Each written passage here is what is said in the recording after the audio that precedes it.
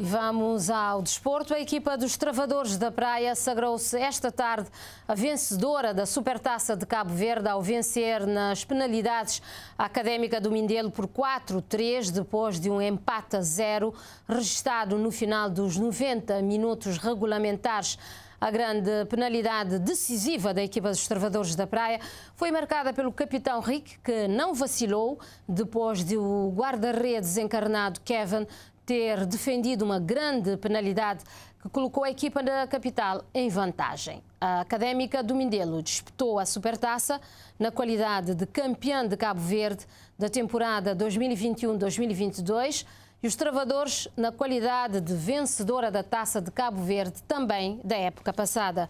Esta partida da Supertaça ocorreu no estádio Marcelo Leitão e marca o arranque da época futebolística 2022-2023 da Federação Cabo-Verdiana de Futebol.